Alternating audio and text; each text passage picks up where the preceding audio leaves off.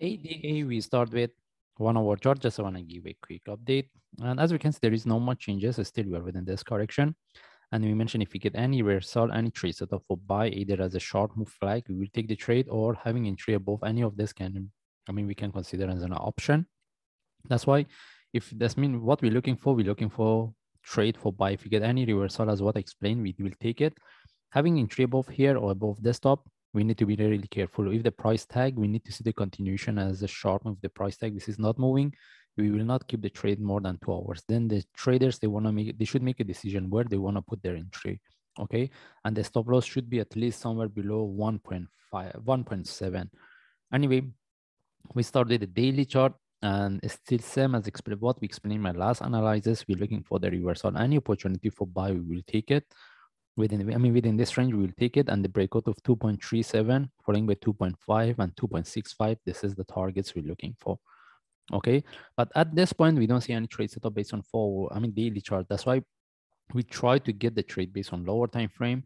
Then we, how high it can go, we can make a decision based on daily chart. And this is what we're looking for. And if I move to four hour chart, and if you want to see what we have based on four hour chart, even based on four hour chart, the only thing is if you put this loan relative to this, without considering this one, we can refer to the indicators.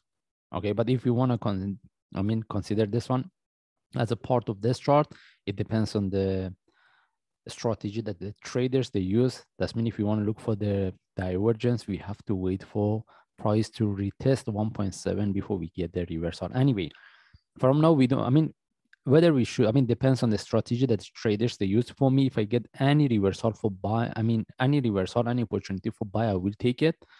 And the best things is if the price retest 1.7 then we can confirm any reversal considered as a long term.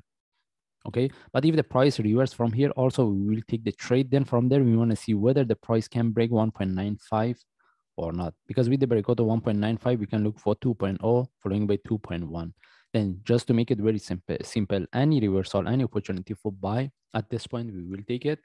And as what I explained based on one hour chart, based on one hour chart, either we look for the sharp move flag or we put our entry above here. And in this case, we just follow the chart. If I see any update, I will share. Thanks.